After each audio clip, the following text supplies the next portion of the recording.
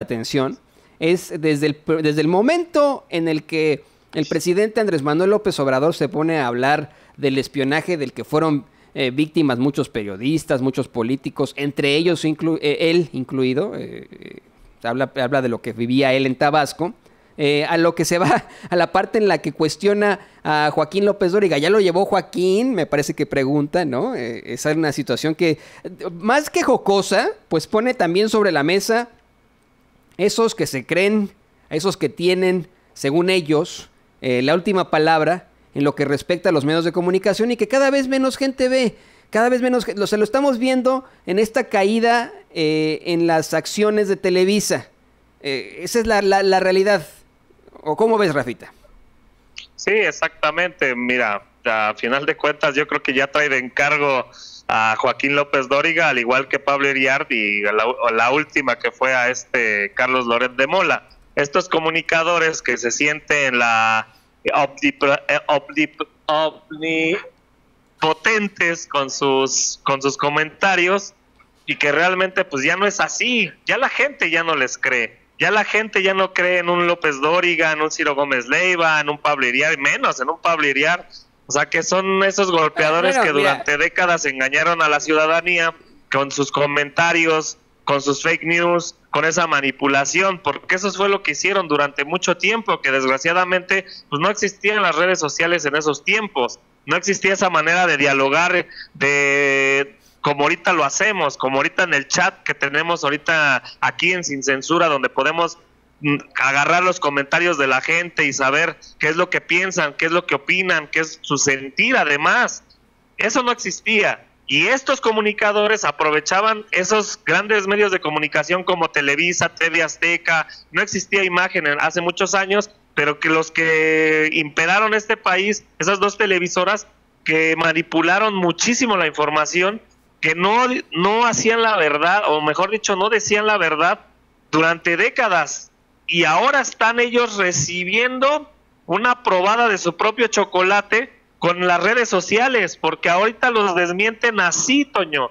Y qué bueno que esto está creciendo, qué bueno, y tocando el tema del Internet, que esperemos que lo más pronto posible lo tengamos en todo el país, pues imagínate, menos, Toñito. Entonces, están en peligro de extinción estos comunicadores chayoteros que durante décadas le mintieron a todo el pueblo de México. Y fíjate cómo es todo una status quo en el que vivían, ¿no? tienes por su, en estos momentos una oposición y que no tiene ningún tipo de respeto, que, no, que es una, sinvergüenzada de, oposición. Pero era toda una estructura, una estructura gubernamental, si usted lo quiere ver así, y social, en la que tenías a los que estaban en el poder y ayudaban a sus amigos, eh, los políticos, ayudaban a sus amigos empresarios. A su vez, eh, los medios de comunicación también ayudaban a este, este, estos grupos de poder. Teníamos a los políticos y a los empresarios.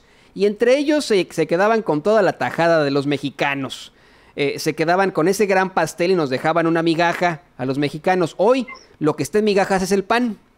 Lo que está en migajas es el PRI. Lo que está en migajas es el PRD. Hoy está en migajas también, como bien lo menciona Rafa Herrera, están en migajas estos comunicadores que pues ya nadie, nadie, nadie les cree. Eh, me decías que cuando mencionabas a Pablo Iriar, yo creo que ni siquiera este, la gente eh, lo rechaza y la gente no sabe ni quién es, ¿no? O sea, tú pregúntale a cualquier persona de a pie, oye, ¿quién es Pablo? Este, ¿Qué te parece lo que acaba de decir Pablo Iriar? Te van a decir, Pablo Iriar, ¿qué? ¿No? esa es la realidad. Pero pregúntale a alguien eh, quién es Rafael Herrera o Vicente Serrano y te van a decir de inmediato, ah, mis youtubers consentidos, los de Sin Censura con Vicente Serrano y también con el Toñito consentidor. Rafa, ¿qué te parece? Dime, dime, dime, dime. No me tires cebollazos, Toño, ¿qué pasó? bueno, pues este es... Eh, Gracias, Toñito. Aquí estamos, no, no, pues es, no, no, es que no es un cebollazo, estoy diciéndolo con toda la verdad de tus pasos, Rafita. ¿Qué te parece si escuchamos, si vemos al presidente, cómo relata el espionaje del que fue eh, objeto y cómo concluye precisamente cuestionando sobre Joaquín López Dóriga. A desayunar al café Habana, histórico, porque ahí se conocieron eh, Fidel y el Che, y estaba yendo de informantes. Bueno, todavía hasta hace unos meses, este, en nuestras oficinas, de día y de noche. Bueno, les puedo decir que un tiempo cuando empezamos a luchar, hace 30 años, 25, 30 años, que enfrente de la casa de ustedes en Villahermosa permanecía este, gente de seguridad, de espionaje, que no de inteligencia. Y que íbamos al cine y se metían al cine. En aquel tiempo que podía yo ir al cine. Este, y íbamos a, acompañaba yo a mi esposa a el mercado, iban detrás.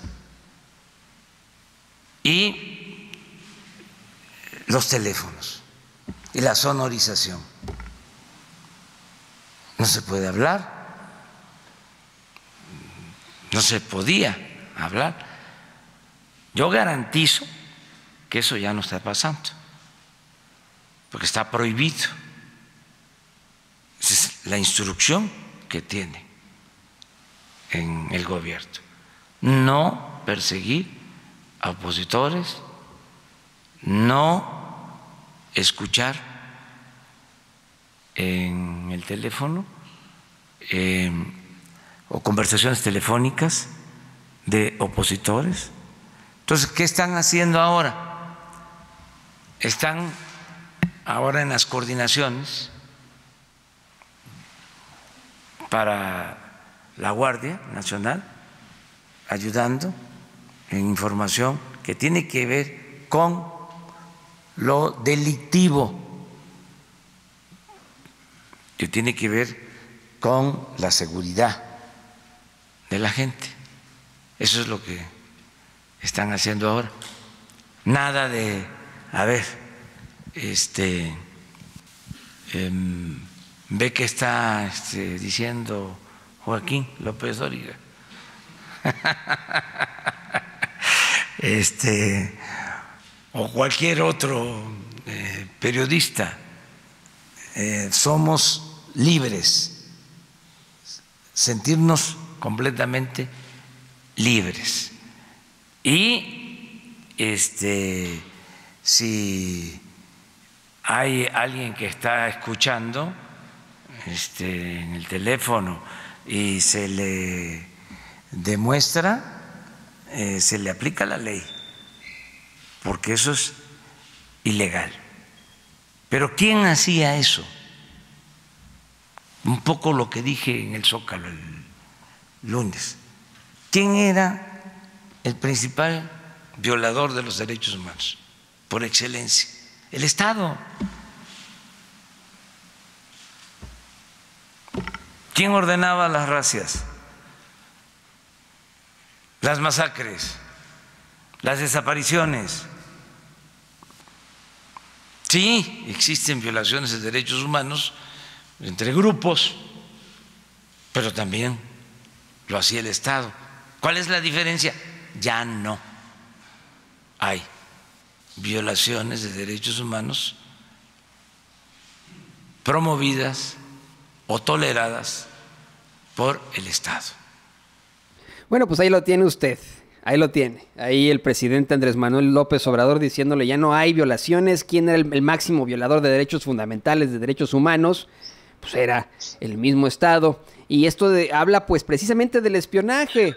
Eh, un espionaje que él, él garantiza, al menos porque no está permitido ya, no está permitido, garantiza ya no existe nada de que a ver qué está diciendo Joaquín López Dóriga o algo así. No, bueno, O sea, para eso nada más hay, hay que sintonizar eh, su programa de, séptima, octava, de horrenda categoría, ¿no? Eso es lo único que hay que hacer, o sus canales espantosos. No los vea, por favor, no, no, no se vaya por ahí. Pero sí, Rafa da a conocer estos eh, valores por los que está tratando de luchar, eh, los que él, él, asegura que está llevando a cabo, valores en pro de los derechos humanos de los mexicanos, valores en los que no es el Estado el que agrede con terror, porque así se le llama terrorismo cuando se trata de una agrupación, pero cuando, cuando el Estado hostiga de esta manera a sus ciudadanos se llama terror. ¿Cómo es que ya no, esto ya no existe, Rafa? Así es, Toño, y déjame comentarte para que la gente, para que nada más se dé cuenta. Recuerda qué era lo que decían en campaña. No, López, López Obrador es un, un peligro para México, no, es un dictador, nos va a volver como Venezuela, bla, bla, bla, bla. Esta oposición tóxica, los mismos comunicadores que también le siguieron el juego a la oposición precisamente para cuidar sus intereses. Ya lo vimos con todo el chayote que le dieron a toda esta bola de chayoteros comunicadores en el, en el pasado sexenio de Enrique Peña Nieto. Era lógico que se le volcaran a Andrés Manuel López Obrador de esta manera. A hoy, hoy les dio un periodicazo en el hocico diciendo, el CISEN ya no existe, el CISEN ya está haciendo labores en aduanas y en otras dependencias y está ubicándose en el tema específico de la delincuencia. Ya no es un CISEN opresor de espionaje que hacía con los opositores del gobierno o del régimen pasado lo que por décadas hicieron, que era investigarlos, hostigarlos, o incluso no sabemos qué más hicieron. Hasta el momento ahorita no lo sabemos, pero a lo mejor hicieron cosas terribles o peores. Entonces, con esto, Andrés Manuel López Obrador, ¿qué es lo que hace? Les da un periodicazo en el hocico a todos y cada uno de ellos, no solamente comunicadores, sino a la oposición pedorra y tóxica, porque él no es un dictador. Y con esto los deja más que callados, Toño. Así es, así es, Rafita, es eh, muy interesante. Eh, definitivamente, pues estas nuevas realidades, ¿no? Eh, estas nuevas preguntas que también existen y por supuesto lo que realmente está ocurriendo en este el gobierno de Andrés Manuel López Obrador. Eh, sí, en efecto, se ve una diferencia absoluta eh, en la forma de conducirse, ¿no? O sea, y, lo podemos pensar incluso cuando, si, si, si, sacamos a, a colación esa, ese evento que tuvo López Obrador en el que una jovencita pintó dedo, ¿no? Una jovencita que no, para nada enfrentó las, las, consecuencias, no como en tiempos de esa represión absoluta, de ese terror que vivíamos en otros sexenios, como el sexenio infernal de Enrique Peña Nieto, o la apertura de las puertas del infierno de Felipe Calderón, eh, ni se diga con Vicente Fox. Pero bueno, Rafa, ¿qué te parece si vamos a otro tema